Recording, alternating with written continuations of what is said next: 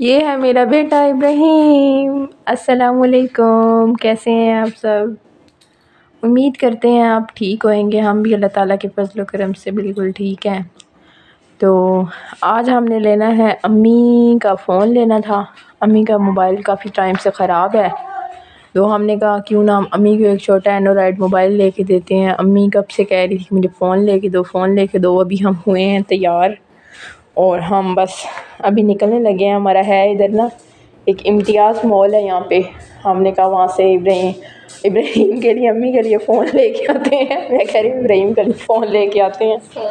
ये मेरी बहन बहन खड़ी है इसके पास दो दो मोबाइल हैं। ये ऐसे नहीं करती कि एक फ़ोन ना मैं अपनी अम्मी को दे दूँ। काम चेक करें? अम्मी मेरी टच फ़ोन नहीं यूज़ करती ना मेरी अम्मी नोकिया तैतीस दस बटन हाँ अम्मी बस मुश्किल से वो यूज़ कर लेती हैं ना क्योंकि अम्मी को पता नहीं ना चलता इतना।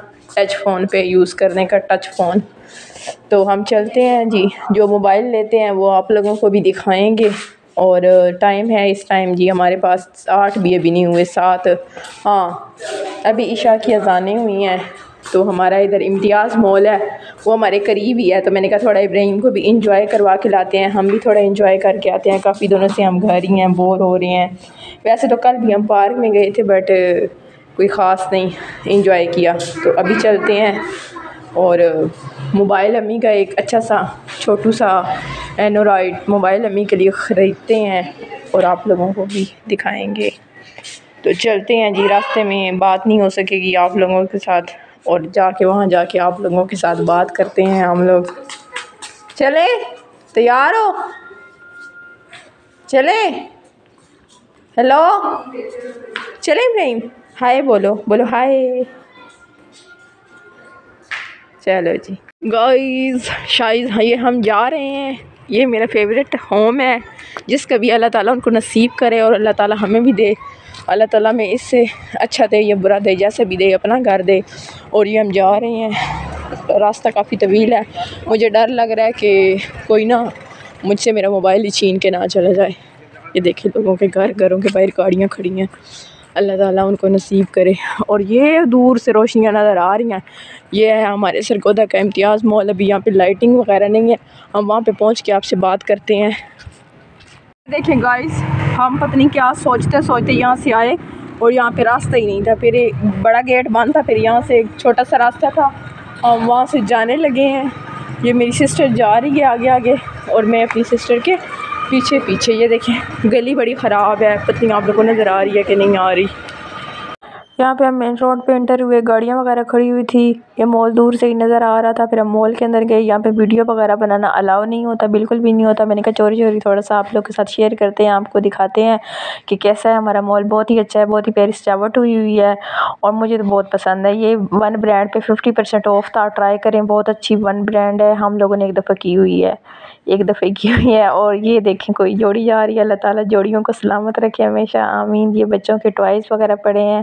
मुझे बहुत पसंद है, मेरा दिल करता है, मैं सारे टॉयज़ ले लूँ अपने बेटे के लिए और लूँगी इन ना, लेती भी हूँ।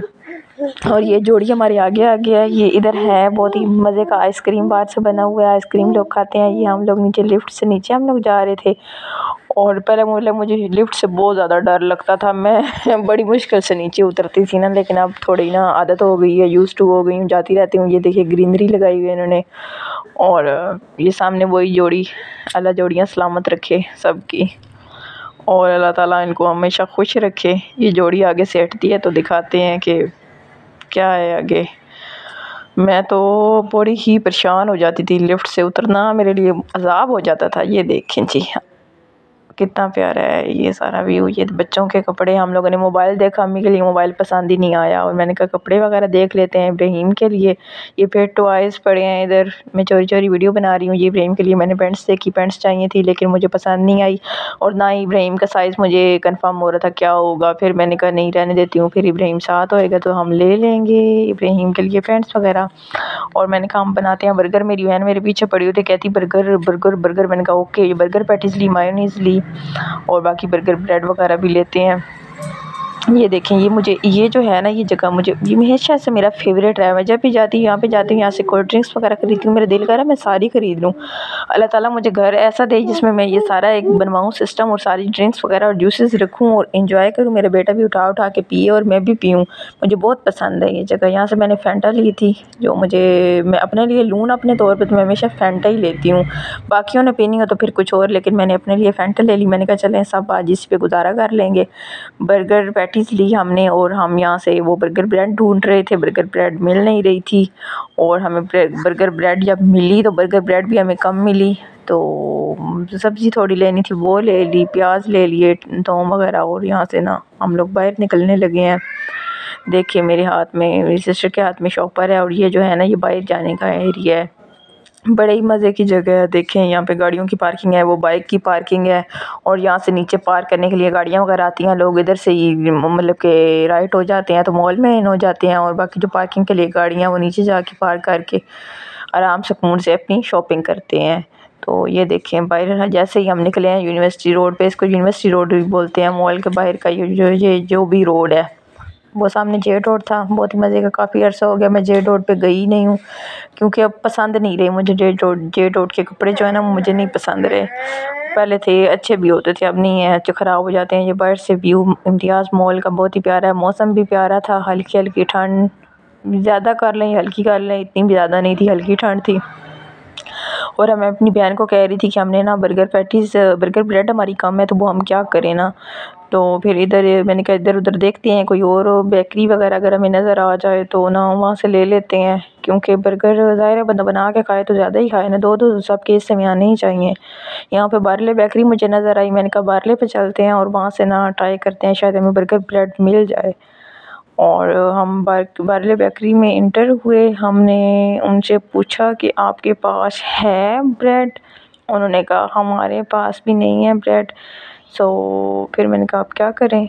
समझ नहीं आ रहा था क्या करें? फिर ऐसे किया कि वहाँ से ना हमने कहा कि थोड़े से बिस्किट वगैरह ले लेते हैं। ये देखिए, बिस्किट कितने मज़े के लग रहे हैं। बहुत ही प्यारे, बहुत ही अच्छे, बहुत ही मज़े के बिस्किट।